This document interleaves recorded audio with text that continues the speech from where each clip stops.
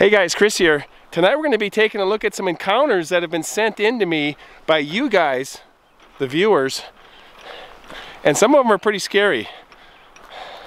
That's next.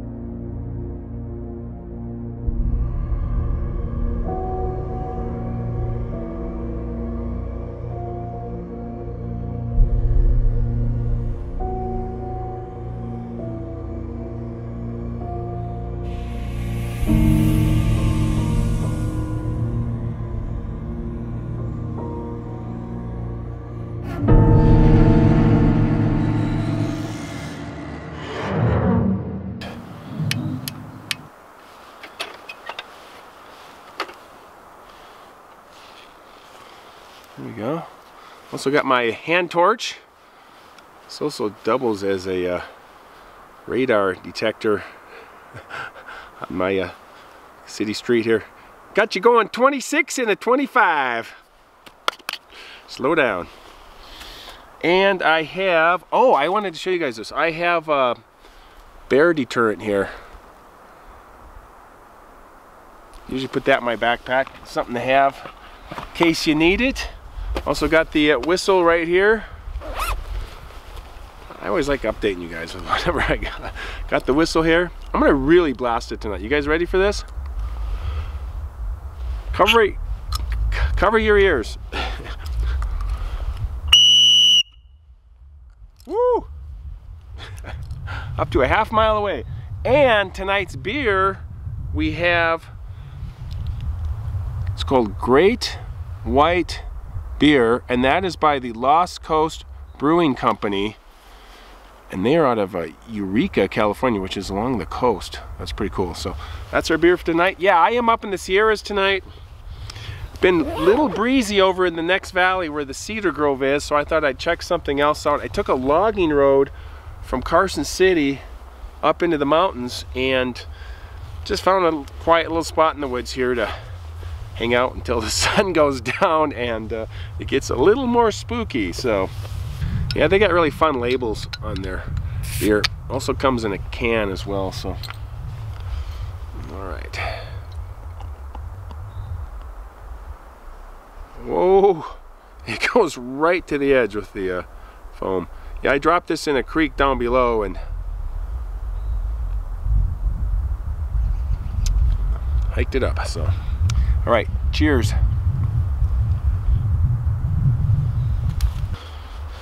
Okay, so after I did my encounter, that video, I said if you guys ever had your own stories, send them in. I'll take a look at them, see what I can do.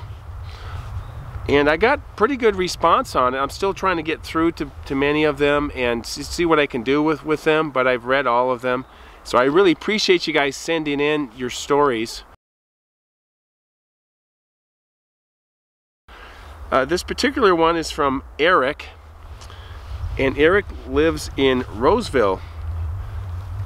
And he goes on to say, Hi Chris, love your channel. You can use my name. I really don't give a shit. my name is Eric. I live in Roseville, California, about 125 miles from Reno, Nevada, close to you. My Bigfoot experience happened in 1976.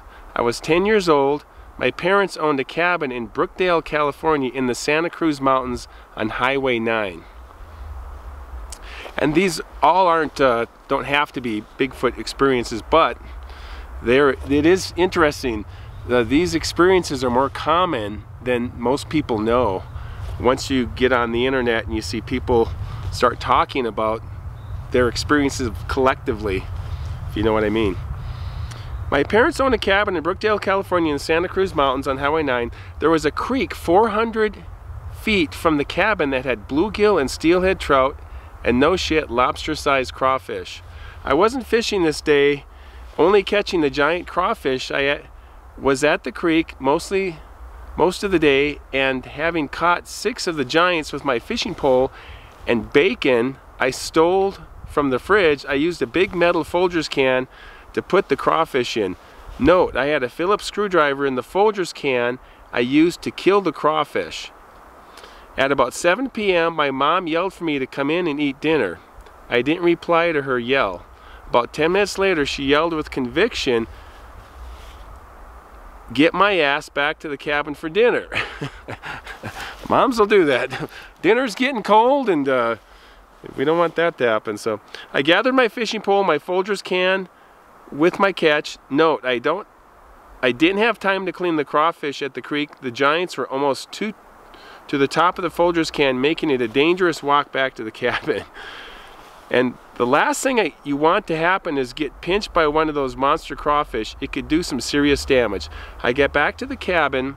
The front door was about 12 feet up the stairs that led to our huge porch. Kind of an odd setup.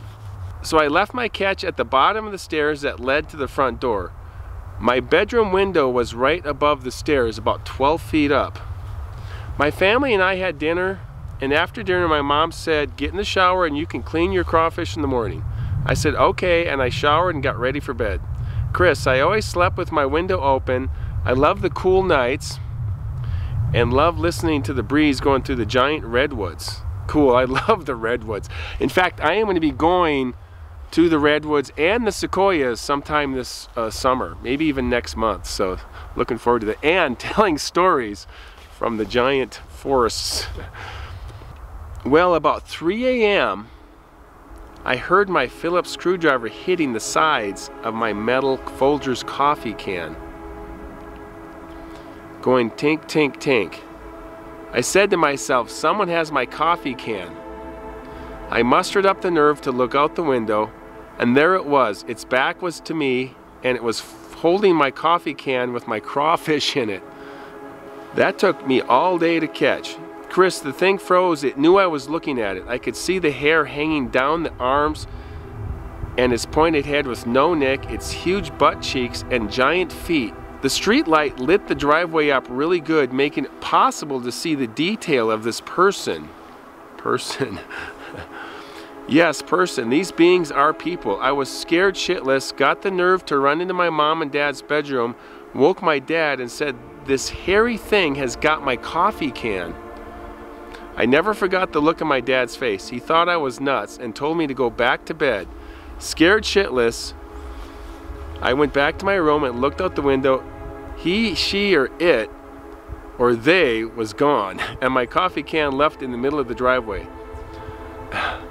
That morning I got up early, headed down to the drive. Big hairy man ate all my crawfish and left the screwdriver sitting next to the coffee can. I didn't know what, what I had seen until after I watched the TV show called In Search of with Mr. Nimoy, Leonard Nimoy, which is Spock. He, had a, he was the host of that show. Showing the Patterson film, the Gimlin Patterson Bigfoot film. I knew then what I had witnessed it was a Bigfoot. My parents owned the cabin until 2002 and I never had another experience. Chris, these beings are real. Please be safe in your travels, and I hope you carry a personal locator with you when you're in the woods. These beings outclass us in every way. If they want you, they will take you. Keep your head on a swivel, and if your hair turns to wire while you're in the woods, it's time to leave. Keep up the good stories. I would love to have a few beers with you someday. Thanks, Eric.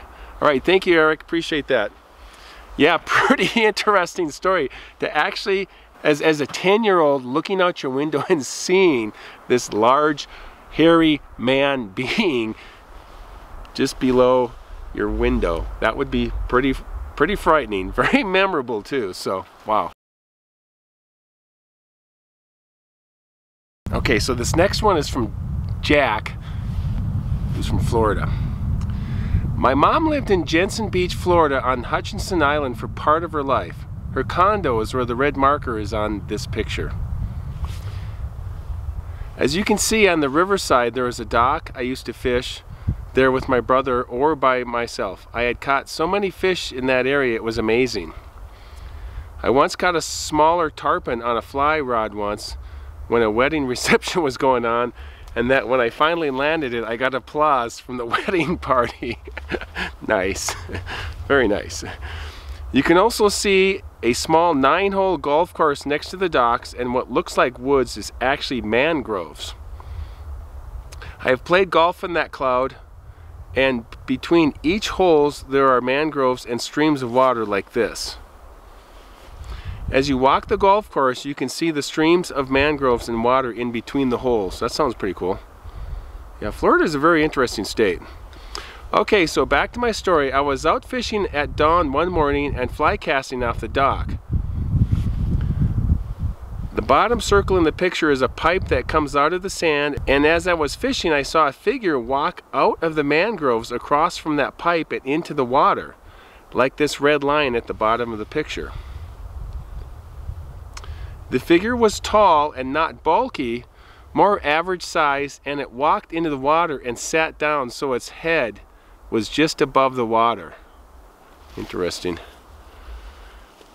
I assumed it was a grounds worker working on that pipe or something. The sun was coming up so it was in a shadow so I could not see its face. After about 10 minutes I yelled at it because it was screwing up my fishing. While it was still in the water with its head just sticking out of the wa water, it decided to move closer to me. Wow. At this point it was pissing me off so I grabbed the spinning rod and started casting towards it close enough to it that it had been a human, it would have yelled back at me, or if it was like a worker or something. I called for my brother who came and saw, and he said it was just a floating coconut or something in the shadows. He went back to fishing. I made a couple more casts. Now, mind you, I'm six feet, six inches tall, and standing on the dock two feet above the water. Whatever it was stood up I yelled for my brother who was in the water and on the other side of the dock. It stood up and walked to the beach, across the golf course, and back into the mangroves. It was covered in fur as I could see the water dripping from it, and it disappeared into the mangroves, and my brother and I left here to go back to my mom's condo. It wasn't like freak me out scary, just completely weird, and I believe it was Bigfoot. That's my story, Jack. Wow. Thank you, Jack. Yeah, it's quite the uh, the reveal at the end, thinking it could be a worker or a person. And then it's really tall and it stands up, and then you see the light just hits it enough to see that there's hair or fur on it, and it's dripping off the off of it. Wow, that is a direct visual encounter. Quite a story. All right, thank you. Thanks, Jack. Okay, story number three is from Ron and it took place in near Bellingham, Washington. Hi Chris, I recently found your channel and have enjoyed it very much. I am an avid hiker and my wife and I have enjoyed the areas you have showcased in your videos. Attached are a few stories I have had the pleasure or displeasure to experience in my life. I am a retired firefighter and almost 60 years old. You may share these stories and my name if you wish. The first one happened in 1972 or 73. My twin brother and I were around 10 or 11 years old. We were visiting a friend at his house at the end of a cul-de-sac off a street in Bellingham, Washington. There was only one street light on and it was dark. We were shooting the shit on this front porch when we heard what sounded like several dogs barking in the distance. But we're getting closer and closer. To the right of the house was a pasture with a typical barbed wire fence bordering it. Beyond the pasture was woods. Soon, while looking in the direction of the barking dogs, we saw this thing running upright on two legs hop over the fence like it was nothing. Then it hit the yards of the homes on the other side of the street without hitting the street at all. And it ran the entire length of the street through the yards of five or six homes and then crossed another street and then it ran back into the woods with four or five dogs chasing it the whole way. It seemed to be tall and ran with a rather stiff arms and kind of what I can only describe as loping. It was all one color. What I don't remember was what color as it was kind of dark, but had what looked like long flowing hair coming off of its back. I remember it scared us all beyond belief and didn't sleep outside as planned that night. I don't know what it was, why it didn't run down the road instead of the yards, or why the dogs were chasing it. Wow, that's quite the story. yeah, just actually again to see, to physically see one of these creatures and then just see it running by you and clearly see how big it was, how it was running, and then the, the that it was definitely hair all over it. So, wow. Story two. My brother and I were 13 or 14 at the time, deer hunting up towards Mount Baker with my dad, his friends, and his friend's son. About a half hour before dusk, I came across tracks in the freshly fallen snow. About four inches total had just fallen. They were large, unmistakably humanoid, with all the toes, heel, instep, all distinct in the tract. They were going straight uphill over a ridge into the brush and into the wilderness. Yeah, I can relate to that, seeing those tracks I saw in Lassen National Park, and that is a very, very wild park. Very large park, too. Northern California. But yeah, very interesting. Mount Baker. Yeah, I've heard there's uh, quite a bit of activity in Washington for sure, and then Mount Baker is quite a spot for that. Story three. This is probably the one that bothers me the most. I am an avid hiker and decided to go out on my own and hike Section J of the PCT, which is the Pacific Crest Trail. I wanted to do it alone because, ironically, I wanted to get through that uneasy feeling one may get when in the wilderness by themselves. I believe you can learn a lot about yourself doing that. Section J is between Stevens Pass and Snoqualmie Pass, which is right around 70 miles. Hope I pronounced that correctly. I was on my last night camped by myself at the far end of the Park Lakes. You guys can look that up. It's fun to look things up on the map and and learn little oh, little geography. South of me was the PCT. North of me was nothing but wilderness which drops down into Spectacle Lake about three miles away. I had finished dinner and getting settled in my two-person tent right at dusk when you can just still make out the outline of the trees. Yeah, I can relate to that. We're getting to that point right, right here. Another eight minutes is going to be probably pitch black here. So I was listening to the last of the chirps of robins of a robin when the robin started chirping wildly. It landed in a tree about 20 yards north of me and chirped like something was trying to kill it. I have never heard a robin chirp like that. It suddenly stopped when the silence was almost immediately met with three of the loudest wood knocks I could ever have imagined. It sounded as though something massive picked up a very large wood baseball bat and hit a tree with all its might. It echoed off the surrounding hills. It was about 30 yards to the north of me. There were no other campers in there and nowhere to camp for that matter. I was terrified. Wow. I lay there thinking of what options I had. My only defense was a can of bear spray. I chose not to carry a sidearm because of the extra weight. I briefly thought of getting up, packing up, and heading down the trail, but that was not a good option in the dark, not knowing what the hell made that sound, although I had a pretty good idea. I eventually fell asleep and made it through the night to tell the tale. Suffice to say, the experience did nothing toward my goal of feeling more at ease in the woods. But my family and I still go out and enjoy the wilderness. All right, good for you. Good for you. Well, those are my stories. I've actually have a UFO story, also a situation I found myself in that seems I lost some time. But perhaps another time. I firmly believe there are a lot more things in this world we know nothing about. Thank you for being here so I could share. I appreciate it. Ron. All right, thank you, Ron. Really appreciate that. Wow, some really interesting stories. And uh, yeah, to hear something that close, 30 yards away, and it's clearly making sound and it clearly knows that you're there because it's letting someone else letting others know I would I would guess so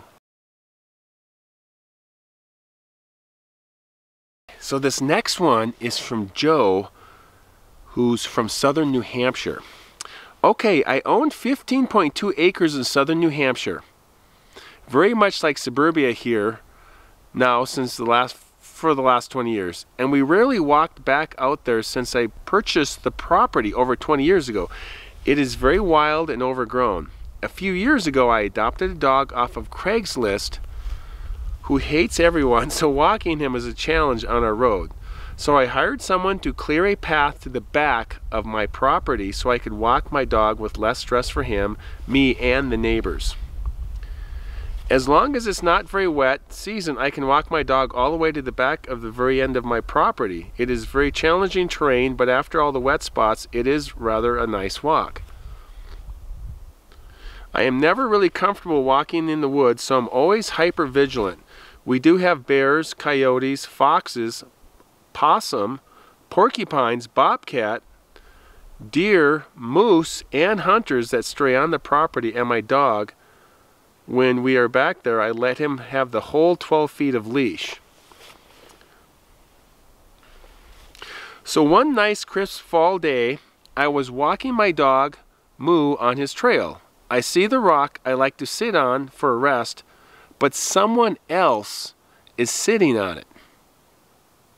A large man in what looks like a long, hairy, reddish coat.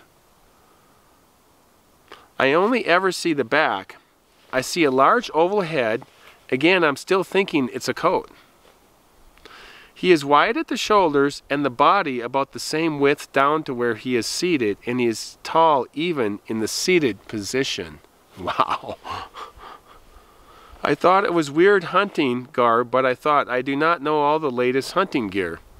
I was going to turn back, but I thought I would just catch his attention and make some noise to see what type of reception I got. Keeping my eyes on him the whole time, clearing my throat, he is briefly out of my sight as I pass by a tree trunk. When I can see him again, it is now a red fox laying flat on top of and against the rock. It looks like the fox is hugging the rock with all four limbs. I have never seen a fox do that. Interesting. I stopped and stared at the fox to see what its intention was and still trying to figure out what happened to the large man and maybe what I saw was just a fox. Before I passed the tree, it was some type of optical illusion. The fox ran away in the direction the man was long before it was a fox. I did go over to investigate where the man went after the fox left. The rock kind of overlooks a huge crater-like indentation, indentation in the earth. So yeah, I was expecting to see a man walking down there. Nothing. Off and on, I think about that incident and am convinced what I saw was a man or a man-like creature. Why, why else would I think it was a man in a fur coat? I doubt a fox would look like a large man sitting on a rock no matter what angle I viewed it. My dog did not react, but he never reacts with large animals like bears. He does go nuts over strangers and foxes, but anything large like a bear he keeps very quiet and hides behind my legs like he did that day. This was daylight as well as light a wooded area can be. Wooded areas always seem darker to me. I must say, since that incident, I have not been too eager to walk down that way.